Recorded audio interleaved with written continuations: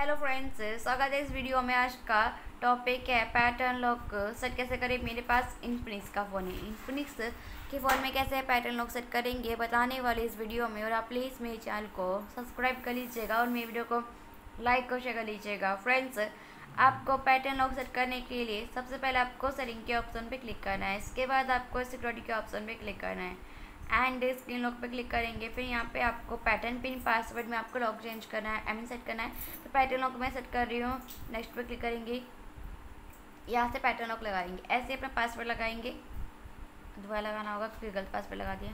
Sorry pattern lock friends ऐसे अपने phone में जब पैटर्न लॉक सेट कर सकते हैं फ्रेंड्स आई होप आपको पैटर्न लॉक सेट करना आ गया होगा।